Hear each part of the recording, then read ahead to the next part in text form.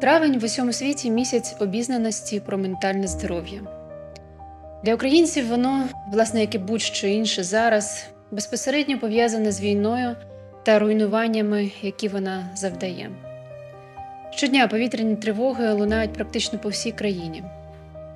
Нещодавно Росія бомбардувала Чернігів, велике місто на півночі України.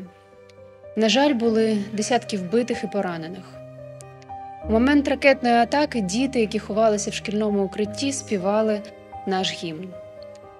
Я переглядала це відео в інтернеті і думала: ось що дає мені сили триматися навіть у найгірші дні.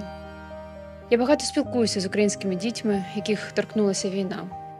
Чую від них історії викрадення росіянами та втрати рідних. Бачу, як вони спускаються в укриття медзакладів, де проходять лікування. Але також бачу, як мужньо ці діти витримують негаразди. І це надихає мене діяти задля їхнього майбутнього. Взагалі маю сказати, що саме дія, допомога іншим потужний спосіб оберегти своє ментальне здоров'я. Допоможіть тому, хто цього потребує, і відчуєте, що вам краще. Це рецепт української стійкості. Але він підійде всім. Спробуйте. І, звісно, допомагає триматися вчасна психологічна допомога. Для цього в нашій країні зараз працює всеукраїнська програма ментального здоров'я. Її слоган Ти як?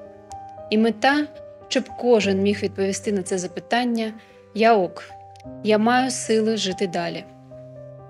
Я рада, що наші партнери та мої колеги, перші леді та джентльмени інших країн, теж приділяють увагу важливості теми ментального здоров'я та поділяться своїми порадами на глобальній платформі саміту перших леді та джентльменів.